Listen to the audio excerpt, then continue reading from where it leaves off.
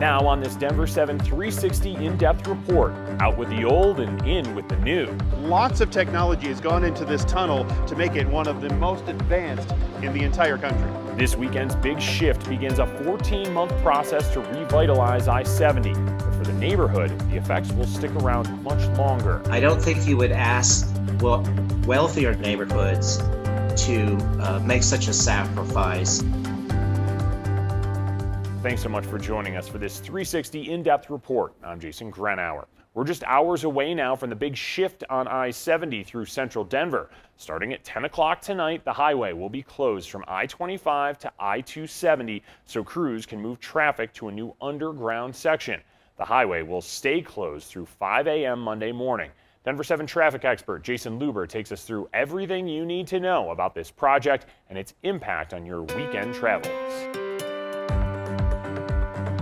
Getting around the Mile High Switch is actually not going to be as tough as you imagine because the detours are really easy. This is the area that's going to be closed down, I-70 between Washington Street and I-270. This entire section is going to be closed down between 10 p.m. tonight all the way until Monday at 5 a.m. when traffic will be shifted onto that new lowered section. If you were heading east on I-70 or north I-25, you could use I-25 up to I-76. You go east a little bit, take that eastbound 270 transition, pass the refinery refinery and then all the way back to I-70. If you were heading west on I-70, let's say from the airport, and you wanted to get around it, you would take that exit. It's going to be detoured at 270, past Vasquez, the refinery, to I-76 where you'll head west, and you have two options from there. Southbound I-25 to I-70 to head west, or continue on I-76 west all the way where it joins I-70 out by Wadsworth. And then come Monday morning, this is going to be your new look. These would be the westbound lanes, the eastbound lanes just on the other side of the divider.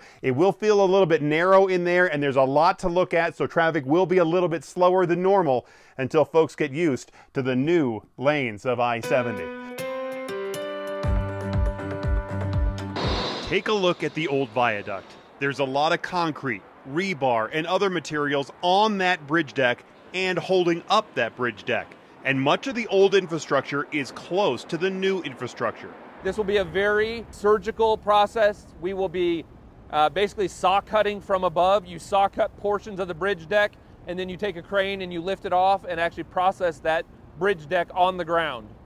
And so once we get all the bridge deck off, lifting it off piece by piece, uh, then we will cut the girders and actually lift the girders off in, in whole spans and put them on the ground and process them. Workers will use fire hoses to spray water on the demolition to keep the dust down. The project is going to take great care in not damaging any of the adjacent businesses or homes that are just adjacent to the viaduct to the south. And the contractor is going to put up a line of poles and netting along the south side of the viaduct, much like they would for a driving range to keep the golf balls in place. The netting will be there, so make sure that nothing falls down on the homes, the businesses, or any of this brand new infrastructure. Majority of the lowered section is this open aired. You know, we've got walls on both sides, but there is open air to the top.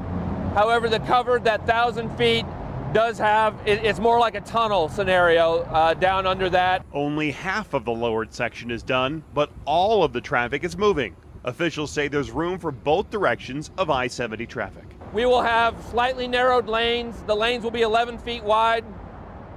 We'll have three of them, so that is our commitment.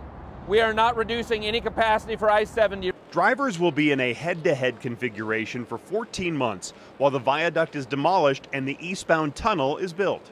A new change that drivers will have to deal with is sun glare. How high will the center divider be when uh, you're up in this area? Yeah, so it's, it's standard guardrail height with okay. a glare screen on it. So, so we're adding the 18-inch glare screen to help protect when the second tunnel opens, the lanes on both sides will be the standard 12 feet wide and shoulders will be 8 to 10 feet wide. But in the meantime, if you break down or have a crash, you may get pushed to one of the emergency pullouts that CDOT says will be every half a mile.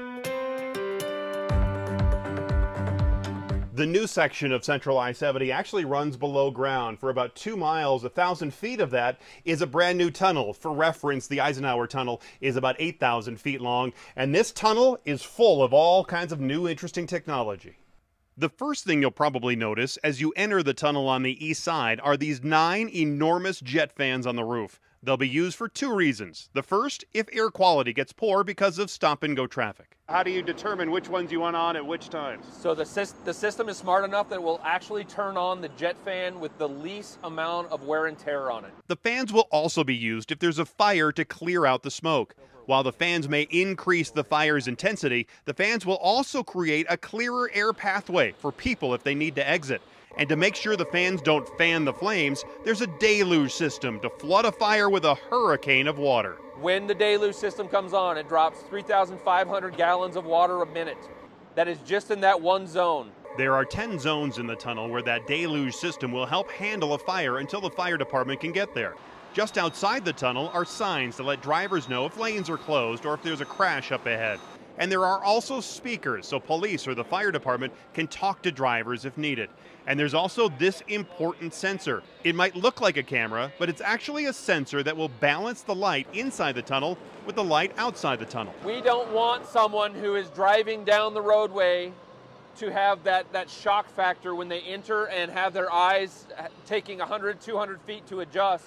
By the time their eyes adjust, now they're back out and they, they have to back adjust to the way it was just the ambient light. The technology in this tunnel is really astounding. From the lighting of the LEDs, from these huge jet fans, from the deluge water system in case there's a fire, lots of technology has gone into this tunnel to make it one of the most advanced in the entire country. Though it would make sense when we dig into untouched dirt, we might unearth some of those ancient creatures. That's what happened while digging the westbound tunnel for the Central 70 project. Workers found something they wanted the experts from Paleo Solutions in Denver to look at.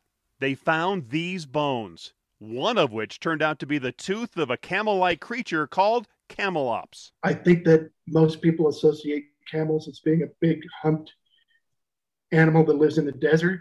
This species, camelops, it's a pretty large animal, um, but it may not have had humps. There's no way to tell because humps don't have bones in them, and we don't have any soft tissue remains of these animals.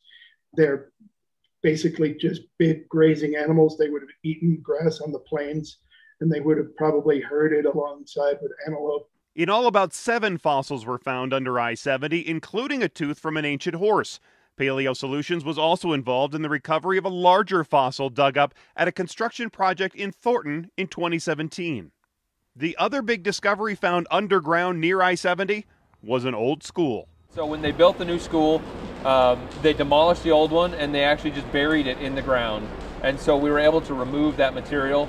Uh, it does contain asbestos, and so we, we have had to be very careful about the way we remove that.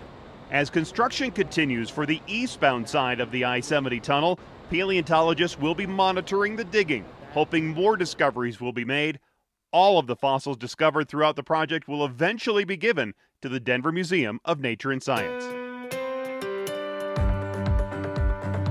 The Elyria Swansea neighborhoods have been in North Denver since the 1870s. It was always this working class, very heavy industrial uh, neighborhood from its beginnings. Very hardworking, very kind of hard scrabble, really. The area was home to railroads, mining smelters, meat packing plants, and family homes. There was also a cemetery. That was actually one of the only crematoria. It was the only cemetery. There's a uh, my great grandparents are, are buried there. I mean, Riverside Cemetery is uh, uh, there's over seventy thousand uh, graves there. When I 70 was approved by the federal government, it followed the route of 46th Avenue, cutting right through these neighborhoods. The highway where it currently is, and it, it cut Swansea in half.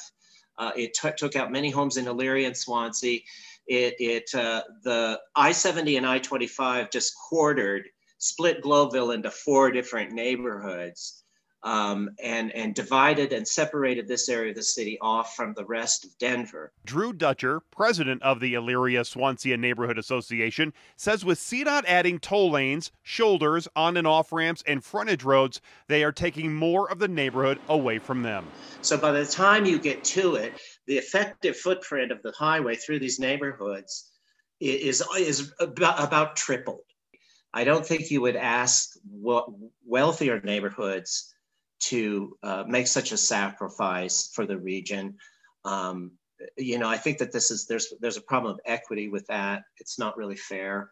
And while Dutcher admits the neighborhood needs more green space and he hopes the new park on top of the tunnel will be nice, he's concerned fans being used to keep air quality good inside the tunnel will blow that bad air out towards the school soccer fields and park being built on top of the tunnel. Young elementary school children with developing lungs playing on top of a highway, you know, and and part of the the construction is to build giant fans so when the pollution gets too bad inside the tunnel, you know, they'll blow it out. CDOT says an air quality analysis around the tunnel cover showed the areas around Swansea Elementary School and the cover would be at or below the national ambient air quality standards.